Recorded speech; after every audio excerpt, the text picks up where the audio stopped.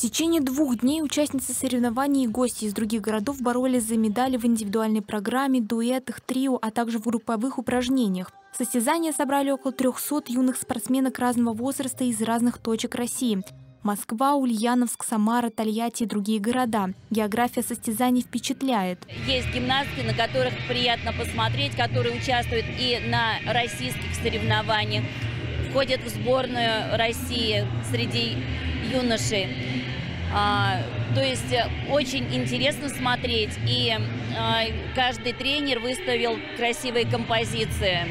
То есть уже к концу сезона подходит, но все равно наши гимнастки показывают каждый раз все лучше и лучше и результат, и композиция. Настрой у всех гимнасток боевой. Каждая девочка готова продемонстрировать свои способности, и у каждой есть четко поставленная программа.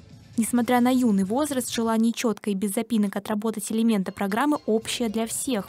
Для гимнасток важна как победа, так и самоучастие, возможность получить турнирный опыт, показать свой талант и спортивное мастерство. Выиграть саму себя, преодолеть свои страхи, сделать упражнения чисто, особенно булавы, которые я очень много работаю на тренировках. Было несколько раз на параде Грация, там у меня все первые места.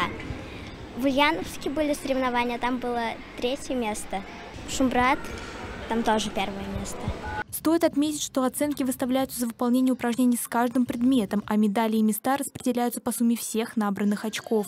Немаловажную роль играет сложность элементов, техника их исполнения и артистичность юных граций.